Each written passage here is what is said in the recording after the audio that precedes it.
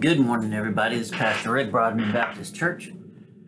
And this is the Broadman Word for Wednesday, August 16th, 2023. And today I want to talk to you about something from Second Corinthians, kind of continuing uh, my theme about uh, making sense of what's happening in, in Maui with all these wildfires, but now sort of turning to more of a um, practical application of, of God and who we are and um, how we can get through this.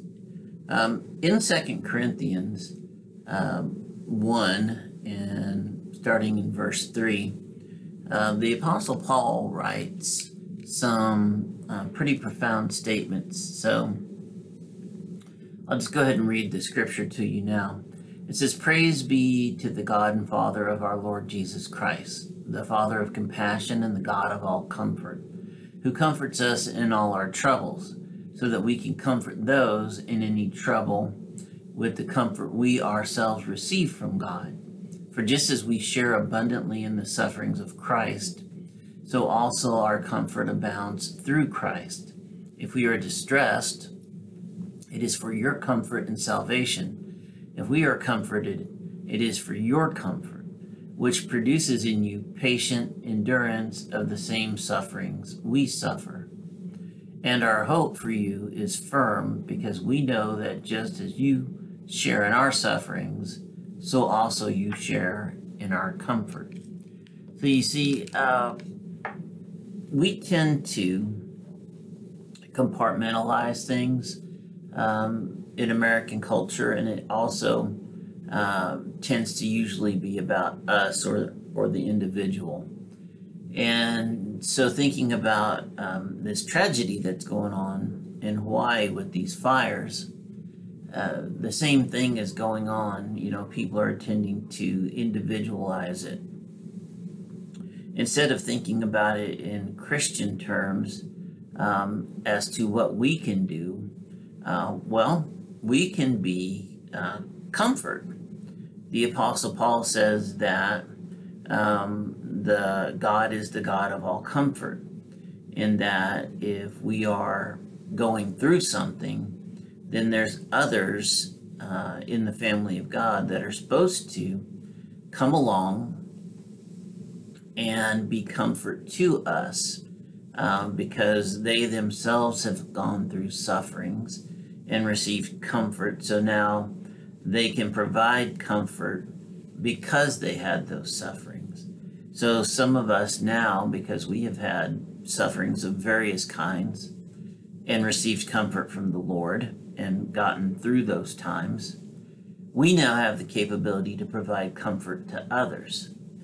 Paul clearly says if we're distressed, it's for your comfort and salvation. So we should be distressed, um, but not just distressed about this fire and this tragedy. We should be distressed uh, so that we can come from a place of comfort uh, for these people who are going through this tragedy.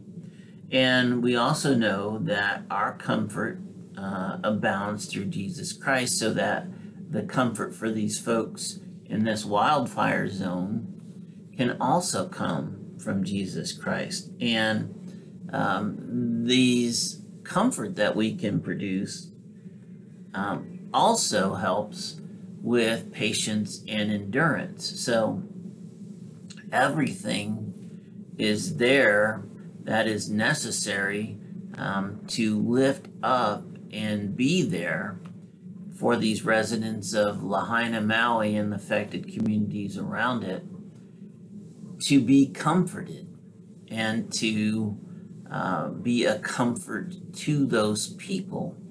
Uh, and it's all through our orientation of coming from Jesus Christ, who gives us comfort in times of stress or distress.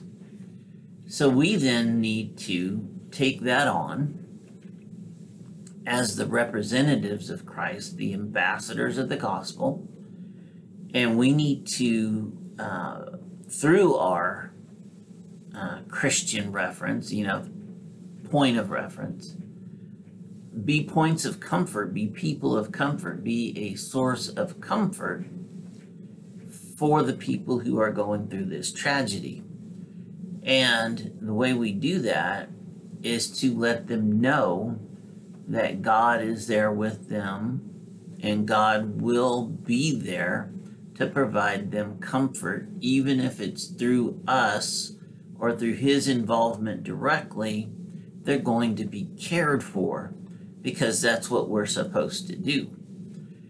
So, as we think about the, all of these events and the politicians start pointing fingers at each other, who should have done what and when, and all the nonsense and melee that is bound to happen because the media needs to um, have extra time with this so they can milk it for all the ratings and likes that they can. So they're they're unable to leave it alone and just let these people start recovering.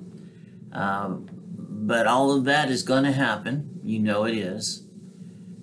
We can be sort of a, a knife that cuts through all of that.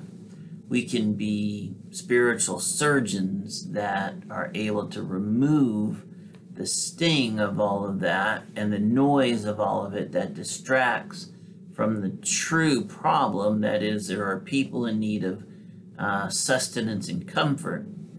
And we can just simply be that sustenance and comfort and let people see God in and through us instead of the noise and distraction of the world. We can be separate, holy. We can help them separate, thus be holy. And we can provide the comfort that the Apostle Paul uh, so clearly says we're able to do from Jesus Christ. So listen, brothers and sisters. Don't be part of the noise. Be part of the comfort. I love you. I hope you have a marvelous day in the Lord. I'll talk to you next time.